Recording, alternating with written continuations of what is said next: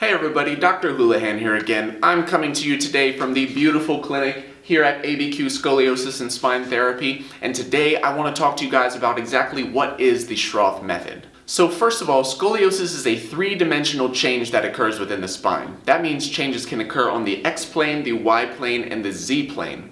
Accordingly, the scoliosis must be addressed in all three dimensions to effectively and accurately make corrections. There's a lot of different treatments and methodologies and even braces out there that are focused too much on the correction of the Cobb angle. The Cobb angle is a change that's seen only in the frontal plane. That's why the Schroth method focuses on addressing the scoliosis in three dimensions, so we're not just improving a problem in one area and creating a problem in another. The Schroth method focuses on a few different principles, so all the way from the ground level to the highest difficulty of exercises, there is breathing techniques that are involved.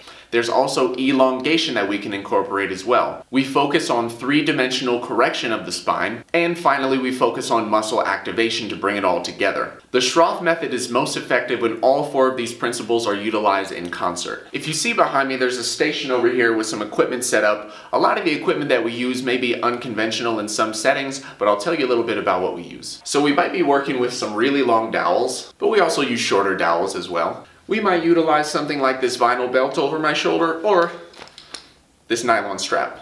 We can utilize these flat rectangular shaped rice bags and last but certainly not least our wedge shaped rice bags as well. Much of this equipment is utilized in the passive techniques that we use to achieve the 3D correction, but some of it is also utilized in the active techniques as well. Ultimately, we want your body to be able to perform these three-dimensional corrections without any outside help. So the Schroth method is called a method for a reason. There's no specific set of exercises that every person must perform. There's no program laid out from A to B that we will follow unwaveringly from start to finish. It's all highly variable and very specific to each person's curve and each person's level of function. You may have heard of the FITT-VP concept that applies to many weight training or aerobic training programs. The same concepts are applicable to the Schroth method as well. The method can vary in the frequency at which you perform the exercises, the intensity at which you perform the exercises, the time, meaning that you might have a different duration, the type of exercises that you're doing encompassed within the Schroth method, the volume of exercise overall that you end up performing,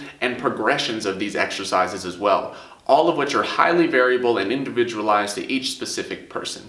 If you or someone you know has scoliosis, the best thing you can do is find yourself a Schroth certified practitioner, especially if you have a curve that a doctor has told you is too small to intervene with physical therapy or bracing and you've been told to just watch and wait. That mentality is largely outdated and can be quite dangerous during rapid periods of progression for the scoliosis. The largest and most comprehensive database that I know of is the Barcelona Scoliosis Physical Therapy School database of certified practitioners. I'll include a link in the comments down below. SSOL is another organization that is certifying practitioners here within the United States. Their database is not quite as comprehensive or up to date as BSPTS, but I'll put a link to that one down below as well. If you have any questions about scoliosis or the Schroth method, feel free to drop them below. I'd love to hear from you guys. And if you happen to be located in the Southwest, give us a visit at ABQ Scoliosis and Spine Therapy or our satellite clinic, Scottsdale Scoliosis and Spine Therapy. I hope this information was helpful and I will see you guys next time.